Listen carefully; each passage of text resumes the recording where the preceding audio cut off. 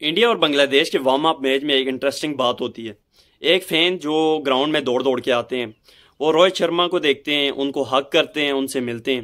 اچانک پیچھے جو یو ایس اے کی سیکیورٹی ہے، جو سب سے تگڑی سیکیورٹی مانی جاتی ہے، جو پولیس ہے، وہ گراؤنڈ میں آتی ہے، اس بندے کو پکڑتی ہے اور گراؤنڈ پہ ہی گوڑ دیتی ہے۔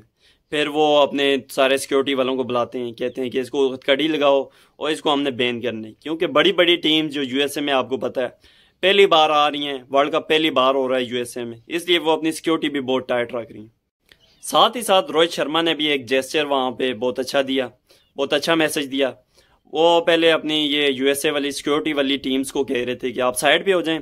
اس فینس کو یہ میرے سے ملنا چاہتا تھا، مل لیا اس نے اور اس کو آپ بے شک جانے دیں۔ بے شک یہ جا کے میچ انجوائے کرے۔ تو وہ یو ایس اے کی جو سیکیورٹی ہے، وہ مان ہی نہیں رہی تھی ان کی بات۔ پھر جو روہت شرما نے اپنی ٹیم ممبر کا اپنا جو باہر جو بینچ پہ بیٹھے ہوتے ہیں، ان کو سمجھایا کہ اس فین کو جانے دو، اس کی کوئی غلطی نہیں ہے۔ میرے سے ملنا چاہتا تھا، مل لیا ہے میں نے بھی اجازت دے دی ہے۔ اور جو بھی اس نے حق کیا ہے تو میں اسے چھوڑ دیتا ہوں۔ تو اس نے جا کے یو ایس اے کی جو سیکیورٹی ٹیمز ہیں، اس کو سمجھایا کہ اس کو بے شک جانے دو۔ کیونکہ پلیئر ہی اگر اس نے مان لیا ہے کہ بے شک اس نے حق کر دیا، کوئی مسئلہ نہیں ہے۔ اس کو جانے دو، چھوڑ دو۔ کیونکہ یو ایس اے کی جو سیکیورٹی ہے، بہت زیادہ تگڑی ہے۔ اگر ایسے وہ پہلے تو سوچتے ہیں کہ یہ کیا پتا کسی پلیئر کو خطرہ نہ پہنچا دیں یہ فینس کیونکہ انڈیا اور پاکستان کو پہلے ہی وہ ایسا مانتے ہیں کہ ان کے جو لوگ ہوتے ہیں، وہ یہی ہوتے ہیں، زیادہ ڈکیتیاں کرتے ہیں۔ اریسٹ بھی انہی کو کیا جاتا ہے، بہت زیادہ بین بھی انہی کو کیا جاتا ہے۔ اسی لیے ان کو یہ خطرہ ہی لگتا ہے جو انڈیا اور پاکستان کے لوگ ہوتے ہیں۔ اسی وجہ سے انہوں نے یہ کام کیا ہے کہ ہم اپنی سیکیورٹی بہت زیادہ ٹائٹ رکھیں گے۔ ابھی یہ وارم اپ میچز ہیں، پر کل کے جو اوریجنل میچ ہوں گے ورلڈ کپ کے، اس میں اگر یہ حرکتیں ہوتی ہیں، اس لیے یو ایس اے کی ٹیم بہت زیادہ ٹائٹ ابھی سیکیورٹی رکھ رہی ہے۔